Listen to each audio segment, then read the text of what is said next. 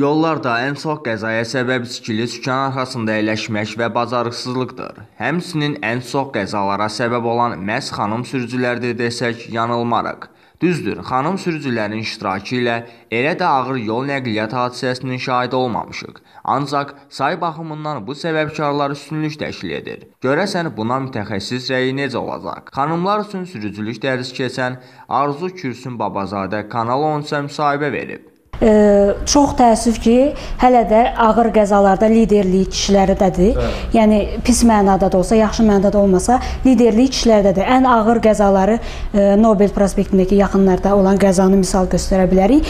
Qadınların törətdiyi qəzaların sayı çox olsa belə ağırlıq təşkil etmir. Yüngül sürtünmələrlə, toxunmalarla gedir. Amma e, biz e, xətaları müqayisə etsək, kişilərin törətdiyi, yəni qəzaya səbəb olan ən böyük xətalar sürətə üstünlük vermələridir. E, sürətə üstünlük verirlər, ötmə əməliyyatlarında tələskənlik və səbirsizlik göstərirlər, e, mədəni davranmırlar, yəni sürücülük mədəniyyətindən kənar davranırlar.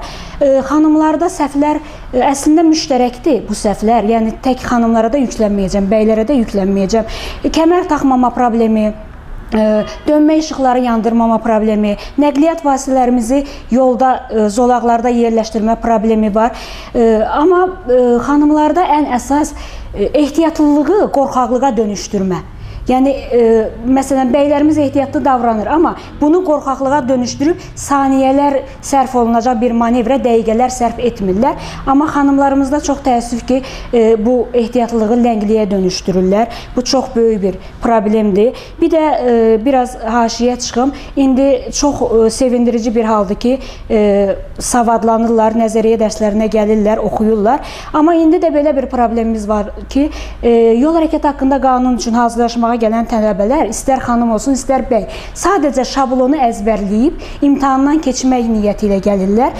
Əz bəli, yox, praktiki deyil. E, biri var öyrənilən, biri var əzbərlənən. Əzbərlənən unudulur.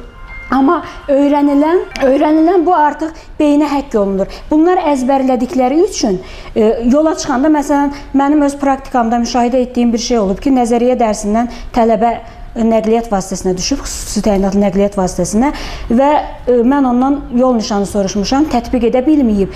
Axı nəzəriyyədə niyə? Çünki əzbərləyir, ancaq test əzbərləyir. Qanun öyrənmir. İkisi fərqli şeylərdir. E, bir də indiki bu bəylərdə də, kişilərimizdə də mən hətta burdan səslənirəm. Bu ə, e, sosial şəbəkələr ki var, canlı yayın hər hansı bir maarifləndirici bir xidmət üçündür.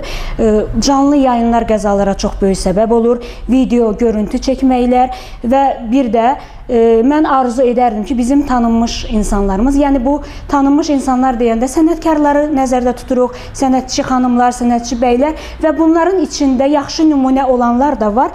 Amma çox təəssüf ki, e, tanınmış olmağından istifadə edib e, yollarda kobud və ciddi qayda pozuntularına səbəb olan e, nəqliyyat vasitəsi sürücülərimiz var. E, bu da tanınmışlıqlarından sui-istifadə etməkdə arzu edərdi ki, bu olmasın.